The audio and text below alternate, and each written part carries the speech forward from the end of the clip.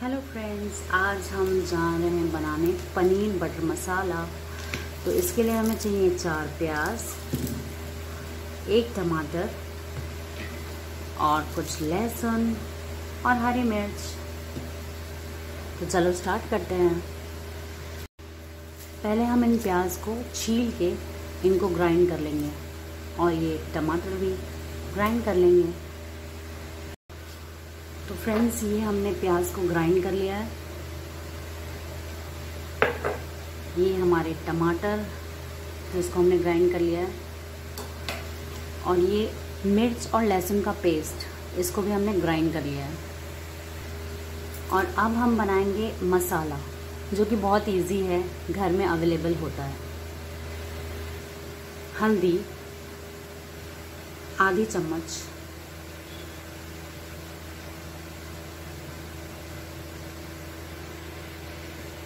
गरम मसाला, दो चम्मच।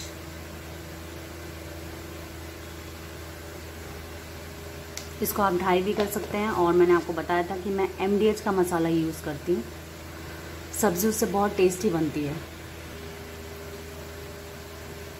आधी चम्मच देगी मिर्च, ये सिर्फ़ कलर के लिए डालना है।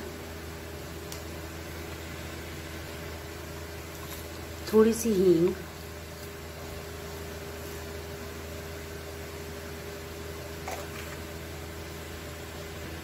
अब इसमें हम डालेंगे पानी और इसको मिक्स कर देंगे।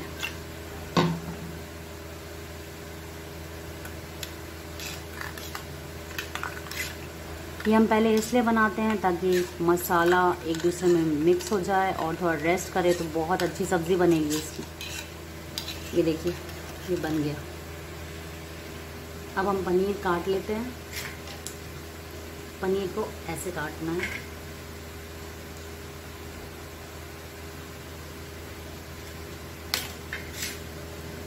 ये देखिए। ऐसे ऐसे। इस शेप में पनीर को काटना है। ये हमारे सारे पनीर कट चुके हैं।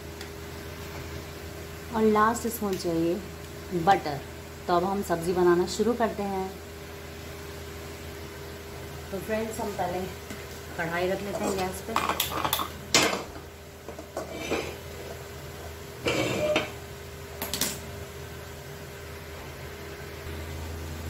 कढ़ाई हो गई है गरम। अब इसमें हम डालते हैं सरसों का तेल। Mustard oil.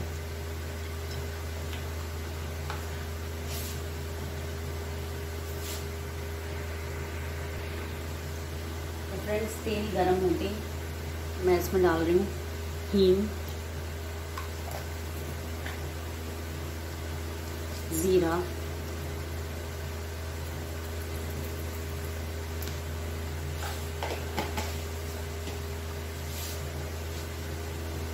और ये हमारा ग्राइंड किया हुआ प्याज। ये चार प्याज मैंने ग्राइंड किया है। आप ग्रेवी और थिक करना चाहते हैं तो एक दो और प्याज डाल सकते हैं।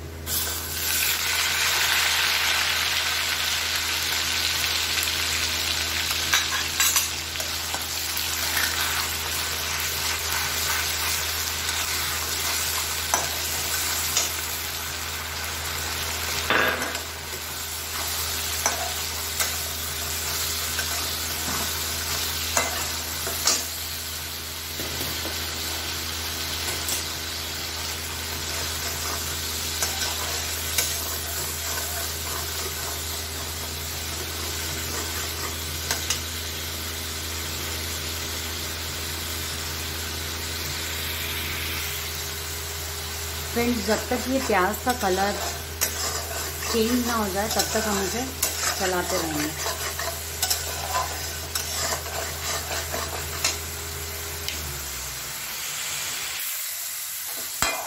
देखिए फ्रेंड्स इसका कलर चेंज हो रहा है धीरे धीरे इसी टाइम पे हम इसमें हरी मिर्च और लहसुन का पेस्ट डालेंगे।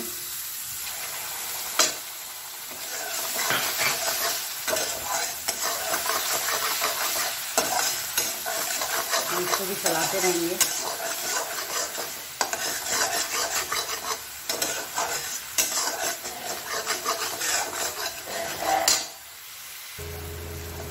तो देखिए फ्रेंड्स मैं कम से कम दो तीन मिनट से इसे चला रही हूँ और अब ये कलर चेंज कर रहा है।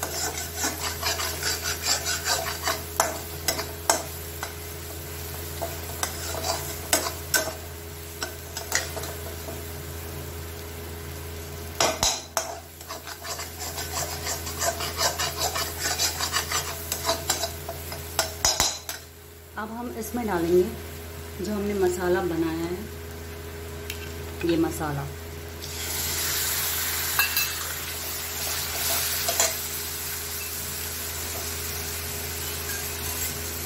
थोड़े पानी के साथ। अब हम ये मसाला अच्छे से भूनेंगे। मसाला जितना अच्छे से भुनता है, सब्ज़ी उतनी ही टेस्टी बनती है। इसी टाइम पे हम इसमें डालेंगे बटर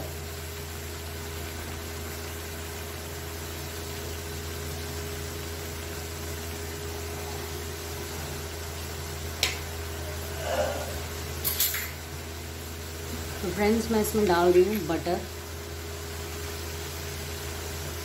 एक चम्मच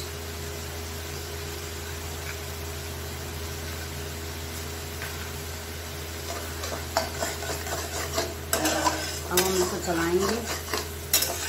और अपना मसाला भूनेंगे अच्छे से।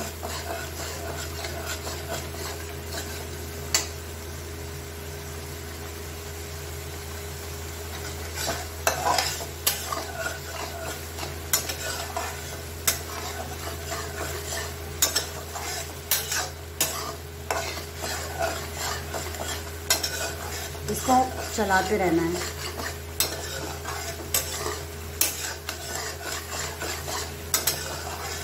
और अच्छे से मसाले को। भूनना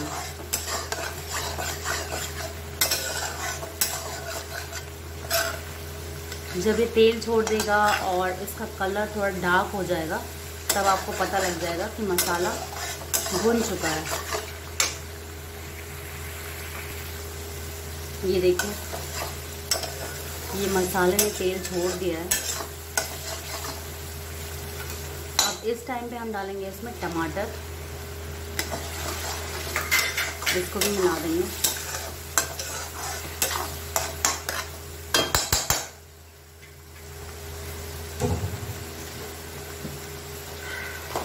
और डालेंगे इसमें नमक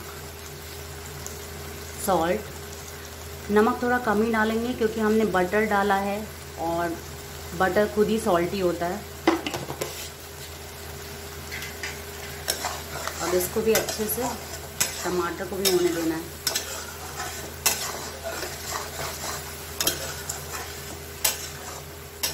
यही सेम ग्रेवी हम कई सब्जियों के लिए यूज़ कर सकते हैं। अगर चाहे तो।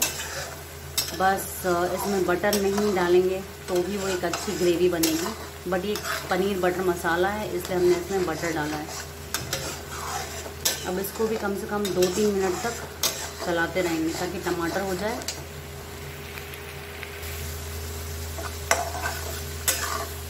फ्रेंड्स, देखिए इसने भी तेल छोड़ना शुरू कर दिया। कितनी अच्छी ग्रेवी बन रही है। वाह। मैं थोड़ा नीचे कर देती हूँ। वाह। अब जब टमाटर भी इसमें भून चुका है, मसाले में और प्याज में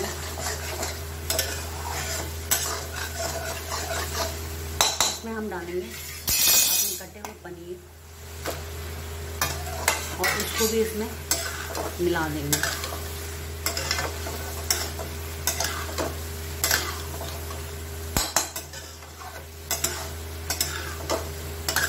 बहुत ही इजी रेसिपी है।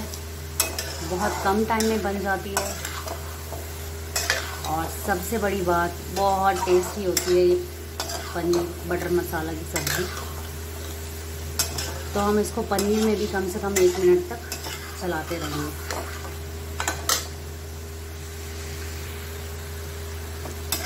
तो फ्रेंड्स अभी पनीर के साथ भी अच्छे से मिल चुका है। अब हम इसमें डालेंगे पानी। पानी में बहुत थोड़ा ही डालूँगी। या आपको जितना चाहिए, आप उतना पानी इसमें डाल सकते हैं। इसको मैंने तेज़ आँच पे ही बनाया है। मैंने एक बार भी इसमें आँच को कम नहीं किया है। तेज़ आँच पे ये सब्ज़ी बनी है और बहुत टेस्टी भी बनेगी। अब इसको हम सब्ज़ी को ढक के रख देते हैं तेज़ आँच पे। जैसे ही इसमें बॉयल आएगा, हम इसकी आँच कम कर देंगे।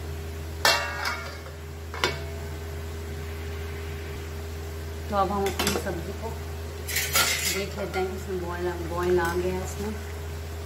इसको थोड़ा चला देते हैं। बट अभी इसमें अच्छे से बॉयल नहीं आया। इसको अच्छे से बॉयल होने देते हैं।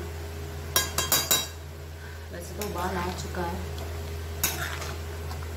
पर थोड़ा और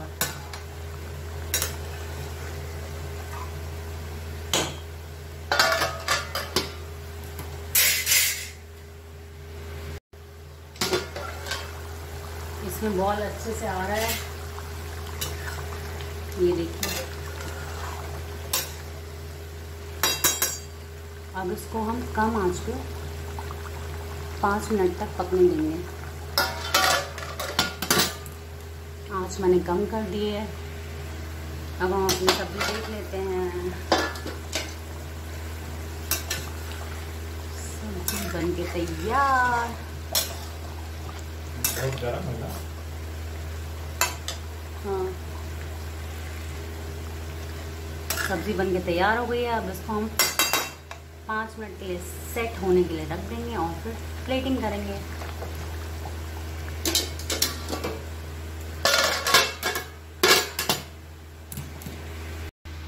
फ्रेंड्स ये हमारी सब्ज़ी बन के तैयार हो चुकी है।